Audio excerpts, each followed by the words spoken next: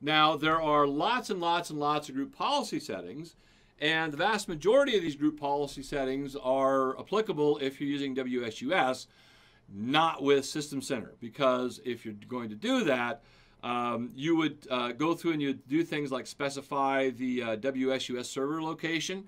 So uh, over on page 348 and um, yeah, pretty much 348, the bottom of those, all of those settings in there, these are old group policies that we would use with standalone WSUS hierarchies without System Center. And that would tell the clients, oh, in order for you to get an update, you need to go to the WSUS server. We want them to go to the distribution point. The WSUS server acts in the background. The clients don't have to know where that is. So in your book, they go through and they tell you, oh, by the way, this is where you tell it where your uh, internet service location is. You want to turn that off. Um, that is one that you, you definitely turn off. This is where we ID the WSUS server. And uh, if we're doing this using System Center Configuration Manager, we're not even telling them that we have a WSUS server. Uh, we also have um, the various content that's in there, and when we do our um, our updates, we need to say whether or not we're going to allow it. Um, this is the setting that we say. It says allow signed content. Uh, when we do that, we will allow you to accept updates to an internet location as long as they are signed. And we also have a trusted publishers certificate. So this allows us to be able to go in and, and put in third-party uh, updates as well. And as long as they're digitally signed, then we'll go ahead and allow those in there. Um, the, um, the automatic updates option, in fact, let me go in. I'm going to fire off my domain controller here. Let me cancel out of this. And we'll go into our DC. And inside the domain controller, I'm going to open up the group policy editor real quick. It says, hey, we notice you're teaching a class. How about we interrupt you and do some updates? Nah, nah, we'll go ahead and shut that off. So what I'm going to do is I'm going to open up my, uh, my group policy editor. Looks like maybe I already have it open.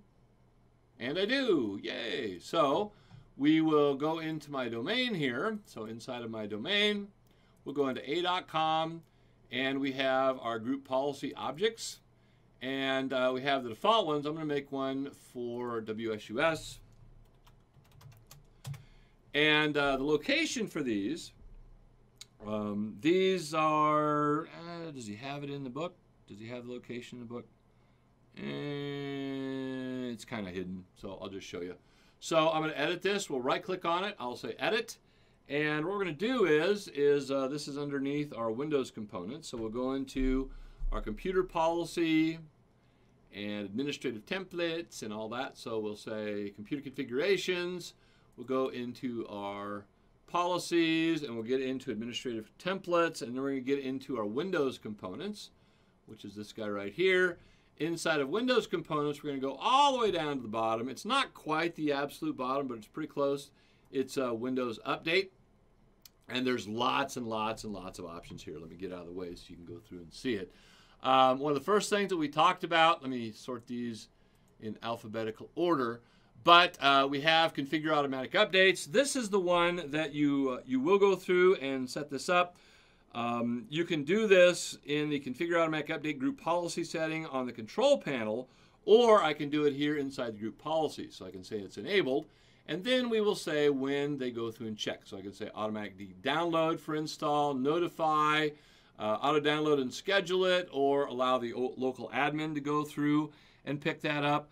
Um, just remember when we're doing automatic updates, um, we will potentially also get uh, notifications and icons, and if we're running this at the same time we're doing it with System Center, we can get duplicate notifications. We'll get the System Center notification, then we'll get the automatic update notification, and then people may get confused because uh, System Center, uh, we may have updated it with, uh, with uh, WSUS, and then System Center is advertising it and it doesn't know, or the system center has uh, has already been advertising it, and then WSUS wants to advertise it. So usually you want to pick uh, one or the other. That's what you uh, typically want to do.